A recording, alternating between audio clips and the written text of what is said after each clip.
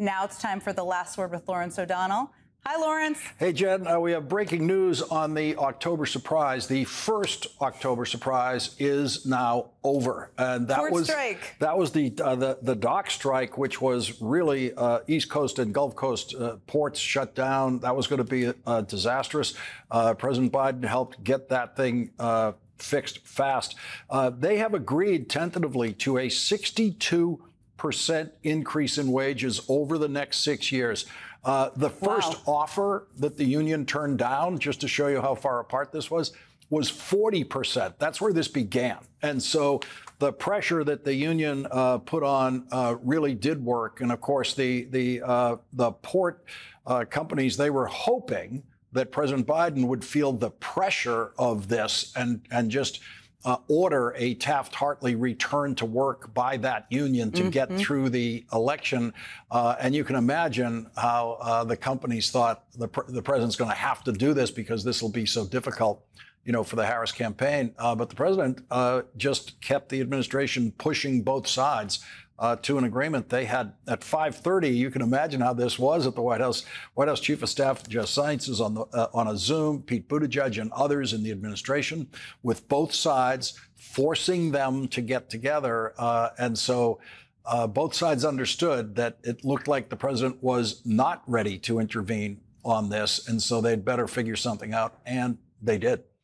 I mean, no one should underestimate, as you've said many times, President Biden's love for union workers and standing up for workers it's a big victory for them, but also the administration. This was this was resolving it quite quickly. I think mm-hmm. you know well how government works, very very well. This was a quick resolution. It could have had an impact on the supply chain. Mm-hmm. That would have been a big, challenging October surprise. Yeah, and I'm I'm I, I'm sure the shippers were just sitting there thinking, oh, you know, the president's going to have to do a Taft Hartley, order these guys back to work, order, order everyone back to work at the docks, uh, so that we will not have to give them this raise. We can just continue negotiating and drag this out, but uh, here we are. They've got uh, a real success there for the union.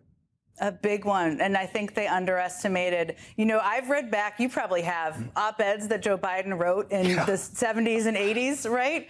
Where he talks about raising the minimum wage. He talks about the rights of workers. This is kind of who he is in his very soul. So this is a moment, perhaps, to your point, he was a bit underestimated on that front, which he's quite used to. Well, that looks like they got the job done. And so much. So one October surprise is over. One, one done. A few right. more to go. Right. We will see. Thank you, Jen. Have a great show, Lawrence. Thank you. Well, Elizabeth Lynn Cheney, as it happens, was born in Wisconsin in 1966 when her parents were graduate students at the University of Wisconsin. 112 years before that, the Republican Party was born in Wisconsin. Liz Cheney was born a Republican. When she was in elementary school, her father was deputy chief of staff in the Republican White House of President Gerald Ford. Dick Cheney moved up to White House chief of staff in the Ford White House, then ran for Congress in Wyoming, then Secretary of Defense for the first President Bush, then vice president for the second President Bush. Liz Cheney is more Republican than anyone named Trump ever could be because no one in Donald Trump's family actually believes in anything. In uh, 1976, when I was 10 years old, and I was sealing envelopes for President Ford's reelection campaign, I cast my first vote ever in 1984 for Ronald Reagan. I served in the State Department in both Bush administrations and I served in the United States House of Representatives for three terms, including as the third highest ranking Republican in House leadership. So,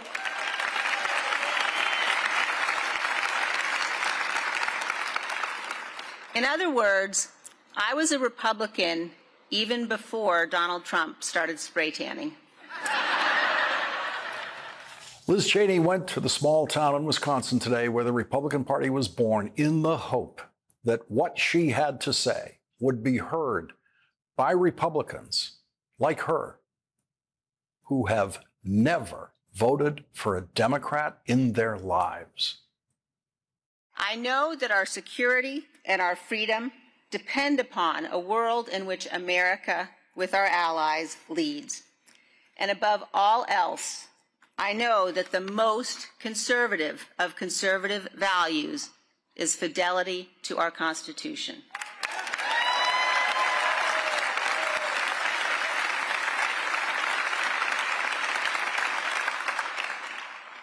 I tell you, I have never voted for a Democrat.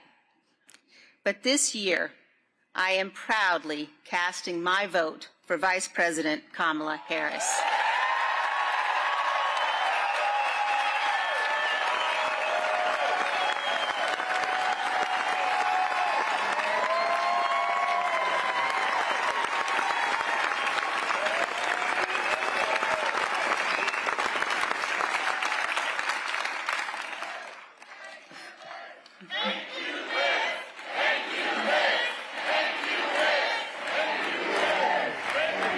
Vice President Harris is standing in the breach at a critical moment in our nation's history.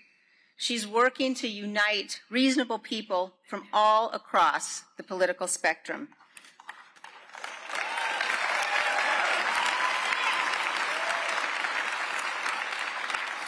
Vice President Harris has dedicated her life to public service. I know, I know that she loves our country and I know that she will be a president for all Americans. As a conservative, as a patriot, as a mother, as someone who reveres our Constitution, I am honored to join her in this urgent cause. Liz Cheney echoed her role as chief Republican investigator of Donald Trump on the January 6th committee. When Donald Trump woke up on the morning of January 6, 2021. His intention, despite having lost the election, was that he would remain president.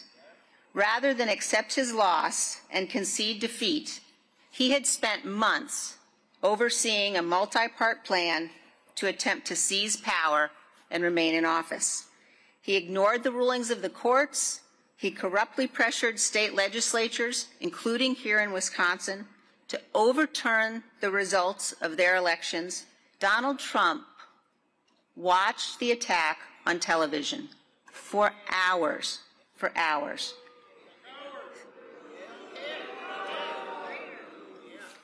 Sitting in the dining room next to the Oval Office, he refused repeated pleas from his family, from his closest advisors, from the most senior officials in his campaign and in our government to tell the mob to leave. And when Donald Trump finally did speak publicly after hours of violence, after the Capitol had been invaded, he praised the rioters. He did not condemn them. That's who Donald Trump is. Those facts do not come from Donald Trump's political opponents. Those facts come from the people closest to him. They are the ones who testified that Donald Trump did not want to stop the violent attack on our Capitol. When he learned that Vice President Pence was not going to abandon his oath and help Trump seize power, Trump sent out a tweet attacking Pence and further inflaming the mob. One of Trump's aides testified that shortly after that, this aide received a phone call alerting him that the vice president had been evacuated for his own safety from his office off the floor of the Senate. This aide recalled rushing to the dining room to tell Trump, hoping that this information would convince him to take immediate action to ensure the vice president's safety. Instead, after this aide delivered that news, Donald Trump looked up at him and said, so what? He said, so what? Donald Trump was willing to sacrifice our Capitol to allow law enforcement officers to be beaten and brutalized in his name and to violate the law and the Constitution in order to seize power for himself. I don't care if you are a Democrat or a Republican or an independent. That is depravity and we must never become numb to it. Any person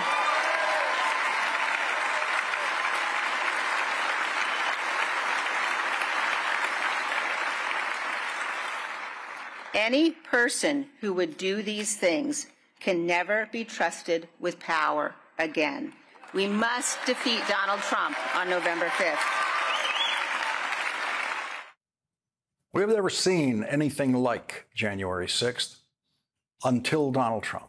And we have never seen anything like Liz Cheney campaigning against the Republican candidate for president, trying to elect a Democrat until Donald Trump. Nowhere in our political history did a large collection of prominent party members turn against their party's nominee for president the way Liz Cheney and so many other prominent Republicans, including her father, have turned against Donald Trump.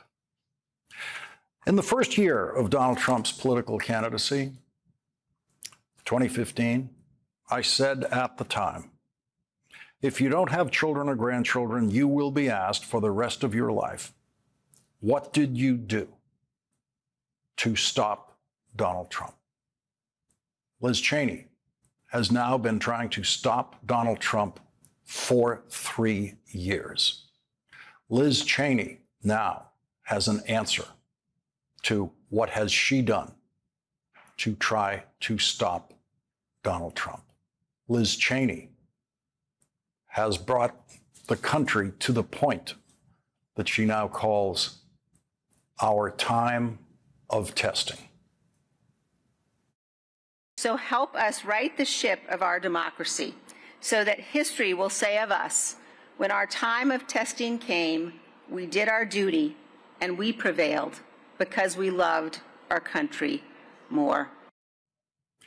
When our time of testing came, Liz Cheney passed that test with honor, leaving behind every Republican member of the House and Senate who continue to fail that test. They fail that test because they love their jobs in politics more than they love their country, and they fear that they could lose their jobs in politics the way Liz Cheney lost hers if they follow Liz Cheney in doing and saying the right thing. Liz Cheney knew what she could lose in Congress by opposing Donald Trump's attack on the Capitol and joining an investigation to expose the truth about what Donald Trump did leading up to and on January 6th. First, she lost her leadership position in the House of Representatives. Then she lost her reelection campaign in Wyoming to a wildly underqualified candidate who was then welcomed into the Trump worshippers in the Republican House of Representatives. Liz Cheney has never said that it was a hard choice. She has never said that choosing between her country and Donald Trump was a difficult choice or required heroism of any kind. When our time of testing came, in fact, it was an easy test for Liz Cheney. And the shock is not that lifelong Republican Liz Cheney passed that test. The shock is that almost everyone else, every other Republican holding office in Washington, everyone else in her party failed that test. Vice President Harris is grateful to Liz Cheney. Liz Cheney really is a leader who puts country above party and above self, a true patriot, and it is my profound honor, my profound honor to have your support.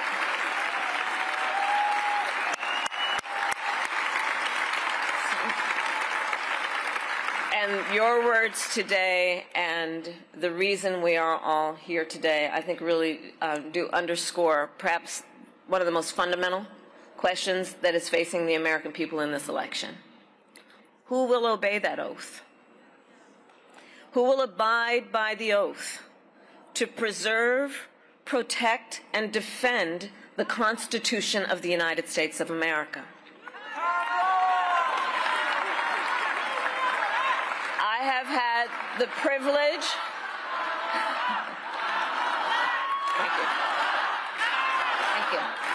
You. Thank you. Thank you. Thank you. And I have sworn an oath to uphold the Constitution six times in my career, um, including as vice president, as a United States senator, and as the top law enforcement officer of the largest state in our country. responsible for upholding and enforcing the laws of the state and the laws of the United States was the work I did. And I have never wavered in upholding that oath. And I have always executed it faithfully and without reservation.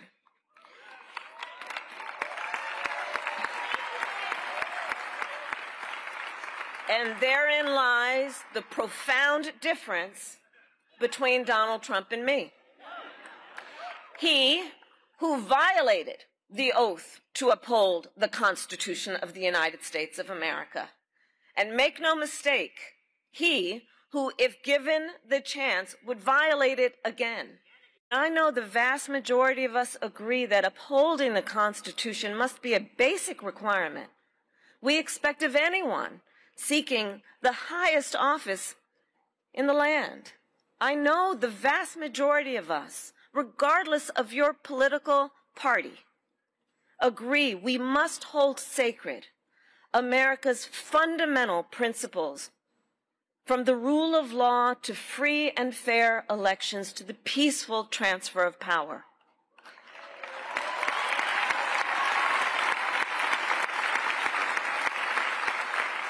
And if you share, if you share that view, no matter your political party, there is a place for you with us and in this campaign because those principles I know unite us across party lines. And in this election, I take seriously my pledge to be a president for all Americans. The President of the United States must not look at our country through the narrow lens of ideology or petty partisanship or self-interest. The President of the United States must not look at our country as an instrument for their own ambitions. Our nation is not some spoil to be won. The United States of America is the greatest idea humanity ever devised. The nation that inspired the world to believe in the possibilities of a representative government. And so in the face of those who would endanger our magnificent experiment, people of every party must stand together. And let me be clear. Democracy and freedom are not only at stake here at home, they are also at stake around the world. As President of the United States, I will strengthen, not abdicate, America's global leadership. So we are gathered here today in Ripon, not far, as the Congresswoman mentioned, from a small building where the Republican Party was born in 1854. Liz Cheney stands in the finest tradition of its leaders. And if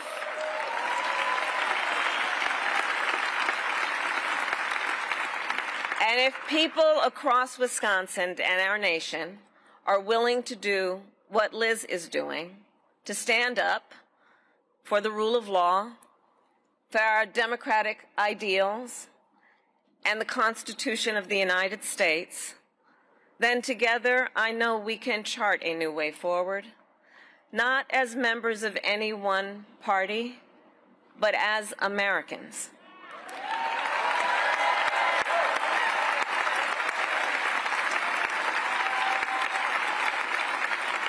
Americans who are united united in our devotion to the country we love. I thank you all. May God bless you, and may God bless the United States of America.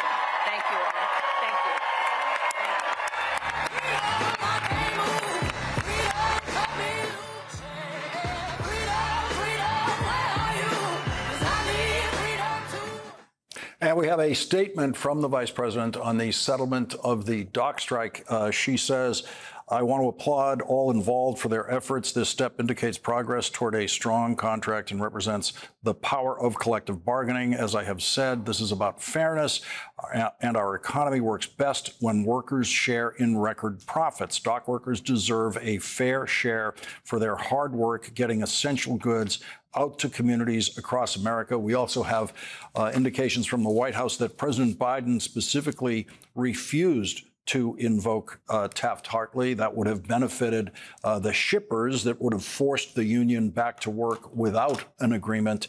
Uh, that's a pressure that the president has in a situation like this. Uh, by not invoking Taft Hartley, that put the pressure on the shippers to reach an agreement with the union, which they then very quickly did. Coming up, Liz Cheney and Kamala Harris talked about national security today in Wisconsin and how unfit Donald Trump is to serve as commander in chief. Former ambassador to the United Nations, Susan Rice, will join us next to consider what is at stake for the United States and the world in the presidential election. That's next.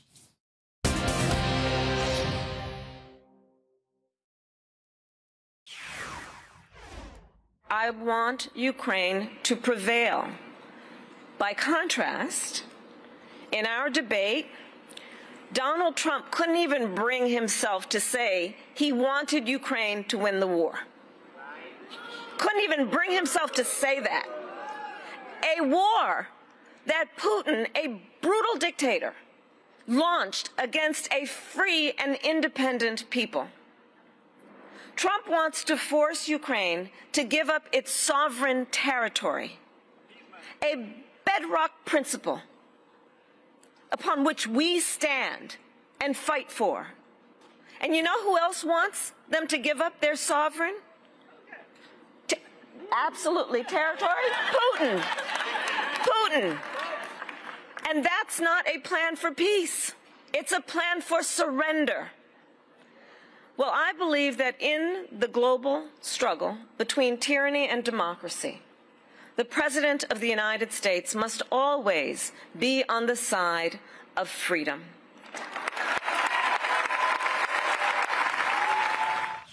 Joining us now is Susan Rice, who served as ambassador to the United Nations and national security advisor to President Obama, and then served as President Biden's director of domestic policy. Ambassador Rice, thank you very much for joining us tonight. When you hear the vice president say that today in Wisconsin, what would you tell voters is at stake in this election in foreign policy terms and national security terms. Lawrence, it's great to be with you. Uh, it couldn't be a starker choice. In Kamala Harris, we have somebody who understands that America is stronger when we stand with our allies and partners, uh, when we stand up for our values and for democracy and for freedom, uh, when we stand up against aggression uh, and uh, violations of international law. Uh, and that is why uh, she and the, the, vast majority of responsible national security uh, professionals believe it is essential that the United States and NATO continue to stand with Ukraine. On the other hand, you have Donald Trump, who uh, praises dictators, loves Vladimir Putin inexplicably, and Xi Jinping, who he calls a great leader uh, who has denigrated our allies and and said to NATO that that as far as he's concerned, Putin can do what the hell he wants with NATO countries. Uh, he would sell out Ukraine in a heartbeat, as she, as Vice President Harris said on the clip you just showed during the debate. Donald Trump refused to say that he wanted Ukraine to win. He doesn't want Ukraine to win. He wants Russia to win. His pal Vladimir Putin. And nothing could be more dangerous or antithetical to our national security interests because anybody who thinks that if Vladimir Putin wins in Ukraine, that he's going to stop there and not keep going into Europe as he has done Georgia and Crimea and now Ukraine, they're out of their minds. And if anybody thinks that Xi Jinping in China won't take from the experience of Ukraine, that if Putin can get away with Ukraine, then he can get away with Taiwan. And then it's uh, really uh, a crisis of global proportions. I want to uh, listen to the way the vice president framed it at the debate because uh, she expanded the uh, the area of concern there uh, from not just Ukraine but neighboring Poland and what that could mean to American voters. Let's listen to that. Putin's agenda is not just about Ukraine. Understand why the European allies and our NATO allies are so thankful that you are no longer president and that we understand the importance of the greatest military alliance the world has ever known, which is NATO, and what we have done to preserve the ability of Zelensky and the Ukrainians to fight for their independence. Otherwise, Putin would be sitting in Kiev with his eyes on the rest of Europe, starting with Poland. And why don't you tell the 800,000 Polish Americans right here in Pennsylvania how quickly you would give up for the sake of favor and what you think is a friendship with what is known to be a dictator who would eat you for lunch. When you, I know when you serve uh, as ambassador to the United Nations, you're in constant contact uh, with the representatives of these other countries, especially in that region. Uh, what does it mean to the other countries in that region close to Ukraine as Ukraine fights for its survival? Well, the Eastern European countries, the Baltics, uh, Poland, and, and, everybody on that front line uh, of Russia know that this is existential for them as well where Putin has been very clear. He hates NATO. He hates the fact that, that we have the strongest alliance that the world has ever seen. And his ambition is to break NATO and seize NATO territory. And he's been plain about that.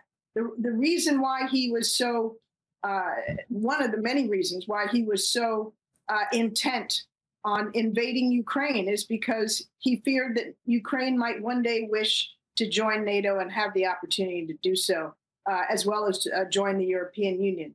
Um, and so, you know, we need to understand that Putin has no intention uh, of stopping in eastern Ukraine unless he is forced to stop, which is why there's such unity uh, within NATO and why the countries of Eastern Europe in particular and the peoples of Eastern Europe, many millions of whom are here in the United States, understand that this is really an existential uh, choice. Uh, Donald Trump is out for himself. He's easily flattered and, and manipulated by dictators. And that's why, Lawrence, we all have to remember that his vice president, two of his national security advisors, his defense secretaries, and his secretary of state have all said in one way or another that he is unfit to lead this country, that he is not capable of serving the national interest, but he is out for his own personal interest.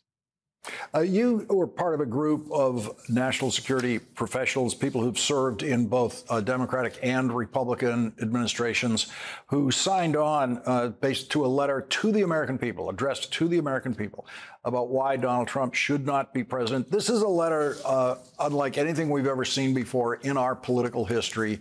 Uh, there has been so much overlap, in fact, uh, since World War II, uh, between the parties on foreign policy that there was never a, a situation in which Republican uh, foreign policy or national security experts would ever feel themselves forced to come out and oppose a Republican candidate for president until Donald Trump.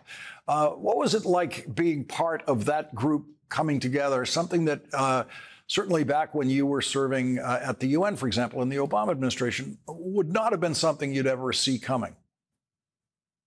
Well, Lawrence, look, you know, it, I, there's a saying that back in the day, uh, until recently, foreign policy and national security were, were, played between the 40 yard lines between Democrats and Republicans. There, there was a, a center uh, that was a responsible, uh, you know, rational center. There were differences, uh, you know, of emphasis and tone and approach on some things, but the fundamentals of national security that America needs to be strong, that we need to stand with our allies, that we need to stand for our values, um, and that uh, uh, you know we have to mean what we say. These are very fundamental things that never used to be under uh, serious question. And along comes Donald Trump, who really is like the Neville Chamberlain uh, of the Republican Party.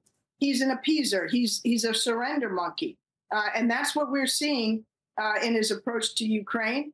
Um, and frankly, you know, we've seen him, you know, fold to blandishments from Xi Jinping and any others, many others, when it when it was convenient for him and served his personal interests.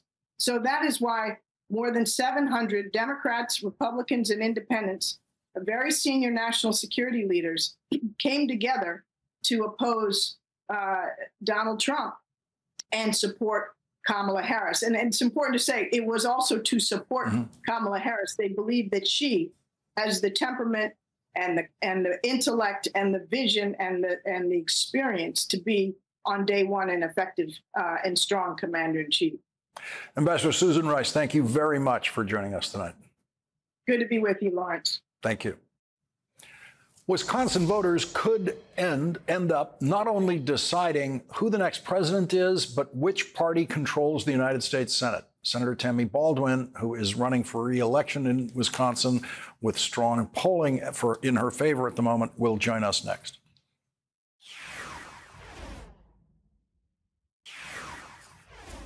Today in Wisconsin, Kamala Harris and Liz Cheney discovered that their parents were at the University of Wisconsin at about the same time. Kamala Harris's father was an associate professor, her mother had a job there, while Liz Cheney's parents were grad students. I thank you all for being here, but I just I have to emphasize that um, every time I come here, and, and, and Liz, I was actually a kid here too when my parents were at the University of Wisconsin, so we have that in common as well. Um, in fact, Tony Evers always says when I land, welcome home. A new Marquette Law School poll, the most reliable poll in Wisconsin, shows Kamala Harris at 52% and Donald Trump at 48%. That same poll shows Democratic Senator Tammy Baldwin polling at 53% over her Republican challenger at 46%. In a rare endorsement of a Democrat, the largest general farm organization in Wisconsin is endorsing Senator Tammy Baldwin. The Wisconsin Farm Bureau Federation has endorsed Senator Tammy Baldwin Yesterday, the Harris Walz campaign released this ad featuring a Wisconsin farmer. I knew something was wrong. My head was just pounding. Come to find out, I've got a brain tumor the size of a grapefruit. It was $187,000 to get this taken out. Back then, most farmers couldn't afford health insurance. When the tumor came back, the Affordable Care Act saved my life and my farm. Trump is coming for our health care. That's pretty damn scary. Kamala Harris cares about us. She fought for us to get health care, and she's fighting for us to keep it. I'm Kamala Harris, and I approve this message. Joining us now is Wisconsin's Democratic Senator Tammy Baldwin. She's running for her third term in the United States Senate. And Senator Baldwin, can you clear something up for me that I heard during the vice presidential debate? Uh, I heard J.D. Vance say that Donald Trump led a bipartisan effort to support the Affordable Care Act. I always thought he was trying to repeal it and attempted several times to repeal it. You were there. What happened? Well, without question, he was rooting for the Affordable Care Act to be overturned. And we saved it in the Senate by one vote. I'm sure you recall watching as Senator McCain, whose vote we were not sure how it would be cast, came in and went thumbs down. And by the way, it is very clear to me that many in the Republican Party are trying to do it all over again. Uh, my opponent said that he absolutely wants to repeal the Affordable Care Act ripping millions of people from their, their insurance from millions of people. I helped write the Affordable Care Act. And Lawrence, I'm bragging, but it was my amendment that allows young people to stay on their parents' health insurance until they turn 26. My opponent called that amendment stupid. So we couldn't have a sharper contrast at the presidential level or in a race like my own for United States Senate. Senator, I remember that amendment very well. I have credited you many times. That's that provision has been very important to my family and to millions of families in America. And that's exactly the kind of thing that would disappear if Republicans got control of this process. Without question. And it's not just that. I mean, I think about in my own race for U.S. Senate against Eric Hovde, uh, the uh, California bank owner, uh, multimillionaire, he celebrated when uh, the Dobbs decision came down overturning Roe v. Wade. I am the author of the Women's Health Protection Act, which would restore those rights and freedoms nationally. He is going after Social Security and Medicare, also that he can uh, support a $4 trillion tax giveaway to big corporations and wealthy people like himself. Meanwhile, I'm trying to make sure that Social Security is strengthened and around for generations to come. Same with Medicare. And I want tax breaks for working people and middle class people, not millionaires like my opponent. But I want to say that this race in Wisconsin is very tight right now. You showed uh, one poll. We had three polls announced yesterday. Two of them had me within the margin of error, one up mm-hmm. by one, one up by two. And so this has not escaped the notice of my opponent or Mitch McConnell and his super PAC. They are pouring millions of dollars into Wisconsin just in the last month. And I ask your viewers if you want to fight back, if you want to help me, please give whatever you can five, ten dollars at tammybaldwin.com. Senator Tammy Baldwin, thank you very much for joining us tonight. Thank you for having me. Thank you. Donald Trump is now so crazed on the campaign trail that even the New York Times is wondering in print if Donald Trump is drifting even farther from reality as he runs for president as the oldest nominee in the history of presidential campaigning. That's next.